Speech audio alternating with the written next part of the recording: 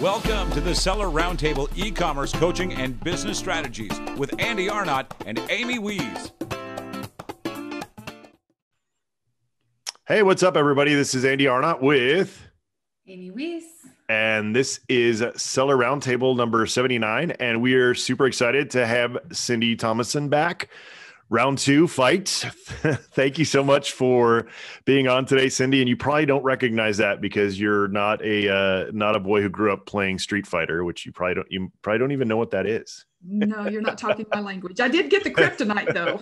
okay, all right, all right. At least one of them. It's you, you, know when you're getting old. Like the other day, I was I was driving through uh, Dutch Brothers to to get a coffee, and uh, I was uh, I I I think I did like a like a um uh was it austin powers? I don't know some quote you know from movies you know when i was in my 20s probably and the and the dude looked at me like i was insane. So i was like okay now it's i've gotten to the point where i'm old enough now where i can't quote movies because most of the people i'm dealing with out in the world probably won't uh, recognize them. So. Well and a lot of them now are only watching youtube right? So like the the there's not a lot of like movie watchers anymore and stuff like that. So it's crazy. We've been trying during uh, the pandemic lockdown during quarantine we've been trying to watch all these awesome classic movies with our kids. We've been watching et and forrest gump and like all those movies uh, goonies make sure you make sure you get goonies and ghostbusters. Those are classics. That's perfect for halloween too. That's a good idea. We'll definitely uh, do ghostbusters yeah. yeah trying to keep my kids appreciating, you know, yep. regular TV like I grew up on, not just like YouTube that they think is is you know good quality yeah. production. Yeah, well, well, and, and, even that's long form compared now to TikTok. you know, yeah. Like, yes. for 15 seconds you're entertained. You know, it's like okay. mm. Yeah, that you know that's interesting. Start to go off, off on a tangent here, but that that uh, QB, QB, QB, whatever that service that just came out uh, Meg Whitman from eBay and somebody. It was like a six billion dollar launch, I think, or something like. It. it was an insane amount of money that they threw at this thing, and it failed mm-hmm. miserably. Um, and it was supposed to be like short form, like ten minute uh, videos, which in this day and age you think w- would have you know gotten popularity, but uh, you know pe- people have YouTube, but you know they're not going to pay for something they can get for free. So. I think that's where they they kind of miss uh, miscalled that uh, that need there. Well, in 10 minutes is a long time. You know, I know when we did our website a few years ago, they were saying about three minutes. Now we're redoing it and they say 45 seconds. I'm like, pretty soon yep. we're going to get one word in. Yep. you know? Yeah. That's yeah. when you have to hire the TikTok influencer to do your website. there you go. Exactly. They're masters at keeping their attention for 15 seconds. exactly. yeah. You have to get creative with the uh, attention getting stuff. All right, enough of enough of uh, of going off on a tangent. I'm good at that. Sorry, I, I always uh, lead us down the rabbit hole there. Uh, but uh, Cyndi, for those of uh, you who have, or for, for those of the audience who have not uh, heard your first episode, and if you haven't, haven't, highly suggest you go back and, and listen to it. But if if they haven't, uh, give us a little back background on uh, you know where you are, you know any kind of past you want to tell us about, uh, jobs, college, kind of where you ended up, uh, you know where you are today. Okay. So, um, well, I'm I'm in Northwest Arkansas, so uh, we're having cool, cold, uh, cold, rainy weather now.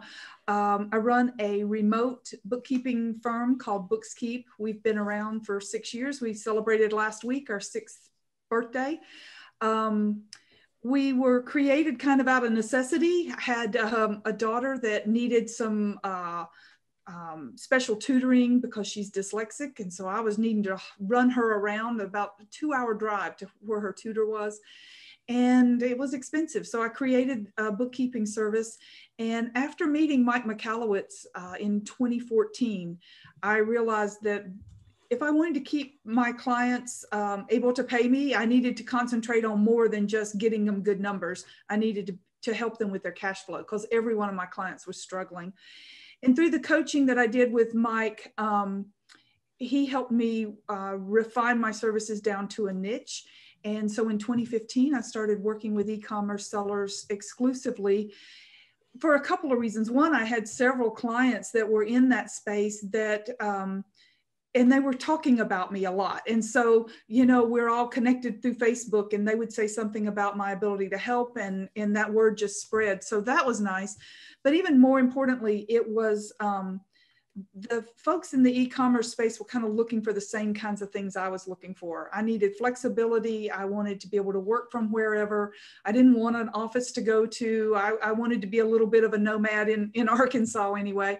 And so our alignment for how we wanted to work and what was going on with our clients really kind of uh, worked well. They were also really good with technology, so it made it easy for us to serve them. Um, so it just uh, it developed from there uh, into where I started focusing on the profit first from Mike Michalowicz's uh, original book and developing those concepts specifically for my e-commerce clients because I kept hearing over and over again that people were struggling with how to do inventory and there were just pieces of it that just didn't work for for my e-commerce clients. Mike was uh, revising Profit First because Penguin House was going to publish it. And I kept going after him saying, You've got to include inventory. You need to include inventory. And he finally came back to me and he said, It's not flying with Penguin House. You need to write the book. And so as a result, um, I came out with uh, Profit First for e commerce sellers two years ago and um, have been. Um, really trying to to get that in the hands of as many people as possible because if they can start off with the idea that profit is a habit, it's not some event that we do at tax time, that they're going to be better off in the long run and make better decisions for their business. Yeah, absolutely. MikeMotorbike.com, guys, if you want to go learn about Mike Michalowicz. And uh, yeah, so Cyndi's uh, book is an offshoot of Profit First, which is by Mike Michalowicz, and she's niched down to e commerce and specifically Amazon. So, I mean, really great stuff in terms of, you know, you know what they say, the one thing, right? The book, the one thing is, you know, you got to really focus. And that's something that I, you know, finally learned at, at my ripe old age of 43 or I'm almost 43. I don't know. I always have to ask my wife. I forget after 40, who cares, right? Um, but you know, one of the things that you know that that I realized with myself is just going too wide, and and so you know, if you're going to read just a few books, you know, definitely you know Mike Michalowicz's stuff is great. You know, we talk we talk about it all the time. He's been on. Um, you know, he's awesome. Uh, huge fan. Um, and I, I, know Cyndi's the same way. Kind of once you once you get into Mike's world, it's hard to get get out of it. You know, just because you can tell he's genuinely genuinely there to help people. Um, and then um, you know we we've talked about his books over and over again, but uh, you know definitely start start with with with those books uh, and then go from there. Um, Cyndi, as somebody just starting out besides reading the books and getting the material i am infamous about you know just consuming tons of information and then not putting putting it into practice. So for someone like me who you know has all the knowledge but it's just you know i whenever i start digging into this stuff um you know i finally found a bank that's going to split my accounts for me which was a, a chore in itself believe it or not um, you know, you know, what's next? Uh, what should I really be looking at next in terms of you know getting my my house in order in terms of finances and and using the profit first formula? From a, a profit first perspective, um, getting those bank accounts set up, and like you say, that's sometimes the hardest thing. But I'm gonna I'm gonna give you a, a referral that um, hopefully will make it really easy easy. And this is not, I don't get paid to do this. I just like the service a lot. It's it's Relay um, Relay Bank. Um, the website is relayfi.com and they really make it so easy. It's totally online. There's no service charge for their services. They make bill pay easy. They make getting uh, debit cards easy. Everything is done online. And uh, once we started using them for our business, I'm like, oh my gosh, this is so. It, it's just uh, one of my clients said it's it's. Um, uh, banking 2.0 it's just they brought the whole experience into today's computer world and make they make it so much easier so getting those accounts set up is the first thing and then just start i mean um, for um, e-commerce clients, you know that inventory is like the most important thing you have to take care of. So get an account for inventory, keep your operating expenses separate, and get an account for profit. If you do just those three accounts to get started, you're going to be so much further ahead of the game. Because the inventory cash flow is on a whole different cycle than your operating expenses cash flow. So keeping those two things separate will help you identify how your inventory account is growing to be able to buy more product and your operating expenses you want to just keep continual pressure on to, to reduce and not let that get out of hand when those two things are combined uh, those accounts you you look at it and Parkinson's law, which we talk about in the book, takes over. You look at you look at this account, and there's a whole lot of money in there because you're going to, have to buy inventory next month. But what you're thinking is there's a whole lot of money in there, and your mind starts to work on, okay, I might be able to use this to go on and buy that computer, or maybe now is the time to get that, you know, um, new thing for the warehouse or whatever separating those two things out is going to give you so much clarity. And we're always focused on taking profit. So whatever how you split that money you want to put 1% of what you you earn in profit as the place to start. Now i know businesses are doing way better than that but what happens with clients that are where we don't actually do an analysis and come up with a framework they just start moving money around and then um, they have a bill and they move it back and they never actually get into the rhythm of making letting profit first really work.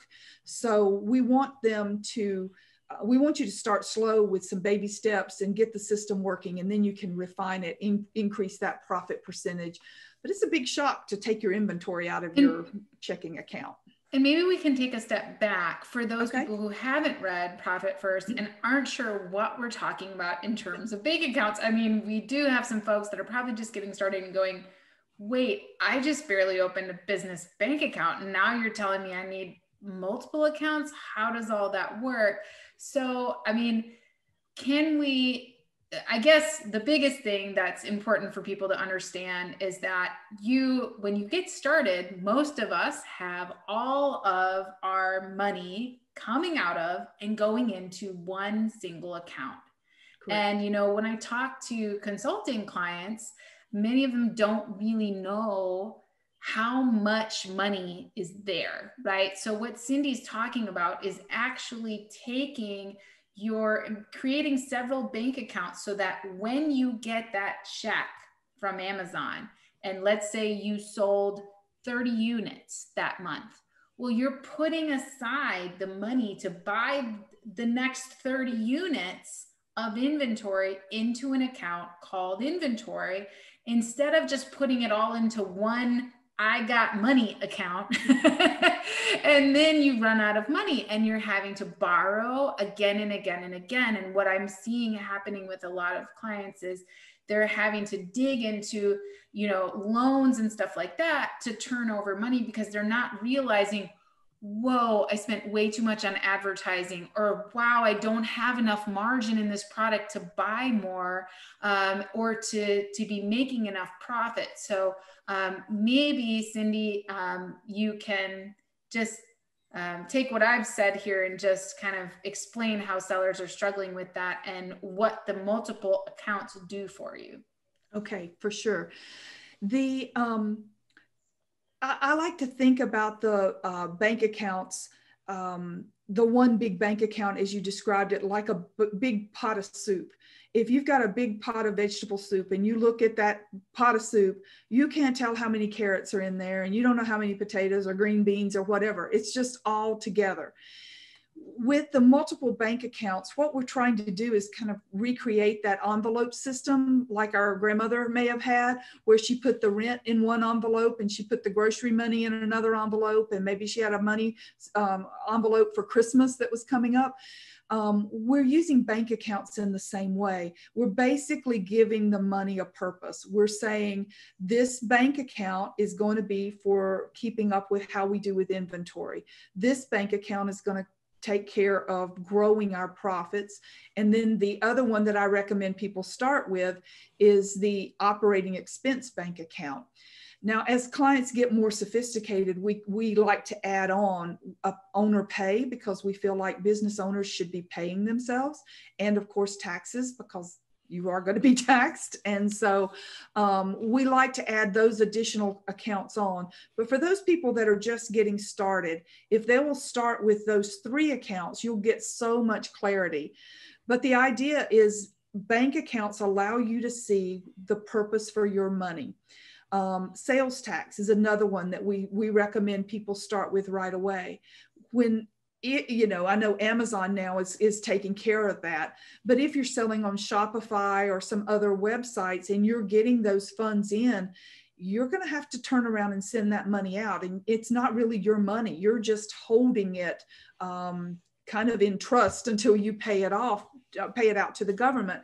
So if that money is put in that one big bank account and you lose sight of I've got to pay sales tax and it may be $8,000.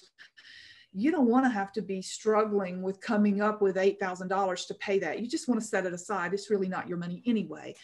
So that's the idea behind it. Give give your money a purpose and also um, by watching what happens in those accounts, you're able to see if you describe the situation of if you're replenishing your inventory account based on what you sell finish then you you've got profitability issue and you need to dig into that. So having those things separated out so that you can clearly intended for that money and how it's growing to be available to buy more um, inventory down the road and is needs to those kinds of things you're able to get just from your business um, banking dashboard um, when system to, to learn all of that. You can just go online and get the get the information. Yeah, awesome. That was a that was a great uh, kind of overview. And um, so, a quick question, uh, Cyndi. This is this is a uh, selfish one on on Relay. Um, do they let, let you have um, like as many checking accounts as you want, or what's the setup for for Relay in terms of uh, fees and setup and all that kind of good stuff? Because I wish I would have. I just went through so much trouble, like I said, trying to find a, a bank account that would do this locally, and I don't really care about a remote bank. Um, I know that there's a limit. I have not hit a limit, and I've got many accounts. Um, so I, I use some of the premium services like they've got some online bill payment services that they charge for. Um, they do charge for, but for just business banking, there are no fees. Awesome.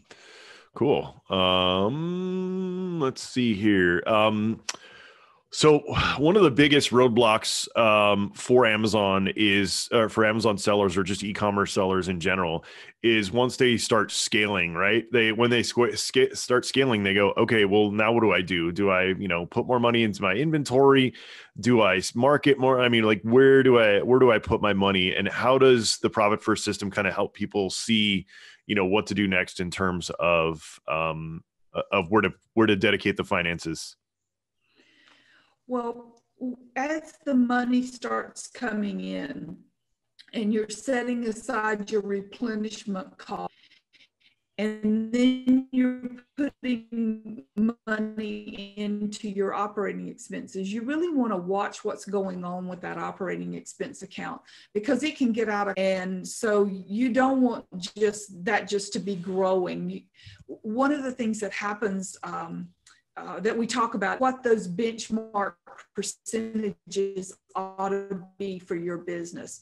So if you're to the point where you've got things dialed in with those three accounts, the other accounts, and you're ready to get serious about doing a profit assessment, and um, let's see if that helps.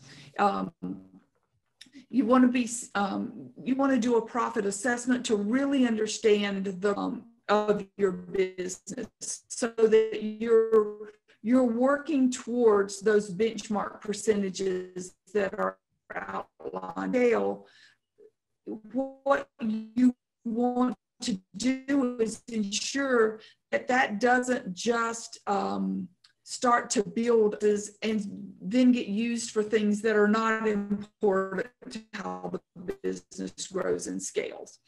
So, for example, uh, you're you're funding your inventory account at that replenishment level, but you want to grow by inventory take your re- replenishment amount, but then, then increase it 10% or 30% or whatever you think is one way we look at it. the other way we look at it is um, as you get more sophisticated with multiple accounts. Cyndi, like- can we pause and maybe have you um, dial in yeah, well, so I, I, I, sort of sorry I went off on a tangent when you're talking about this because this is the other really important thing that uh, you know you know how my brain does that, right? Um, but uh, something to really think about, and this is the this is the big issue with Amazon, right? Is everybody's looking at their their top dollar sale, right? Their their their sales, their revenue, right? They're not looking at their their net profit. So what people when they look at that number, they're not seeing that you know take you know 30% off the top for fees take another you know 15% off for advertising you know uh, shipping all this stuff that you know that that top dollar amount just does not uh, you know does not give you the full story by any means.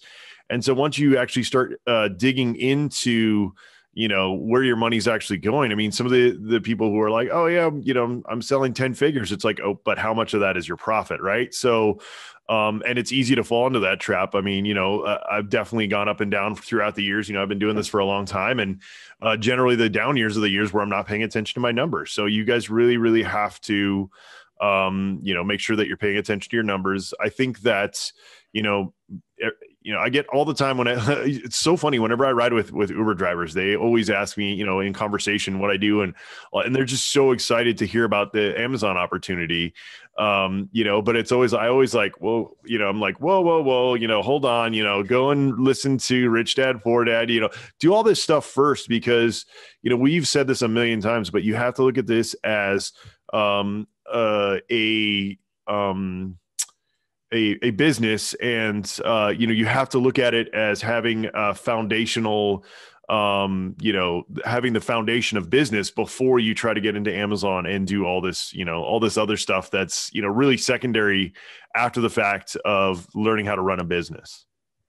I think as well, you know, when you start running those numbers, we just had a meeting with our accountant last week and we were paying more in taxes this year and we just invested a whole bunch in new products and inventory. So our ending number was actually negative. And we were like, oh my gosh, where did that go? You know, where did that money go? And when you don't think about, okay, well, where have I spent extra money? So looking at our P&L, our profit and loss statement, we looked and shipping was a huge amount, a huge percentage of what we spent money on, right?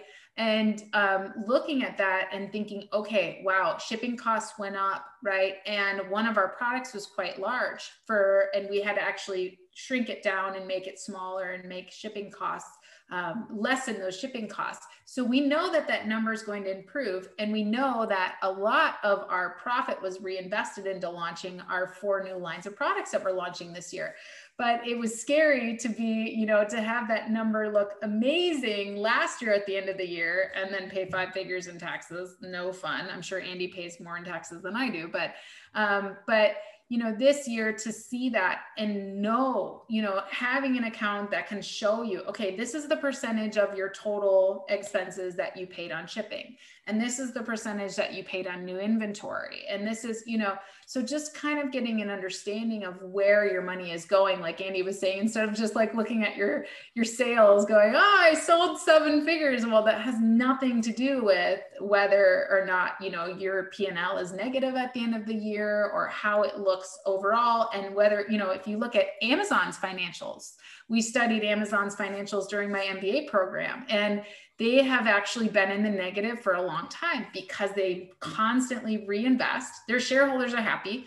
They constantly reinvest in new opportunities. So they are look they're investing in the future and you know they're not as focused on that immediate um, profitability.